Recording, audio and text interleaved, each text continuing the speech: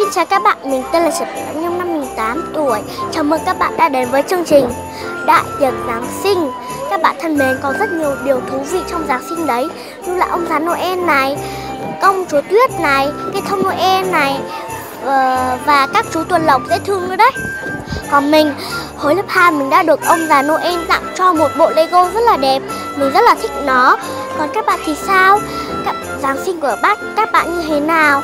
Hãy kể cho mình nghe nhé. Còn bây giờ, xin chào và hẹn gặp lại.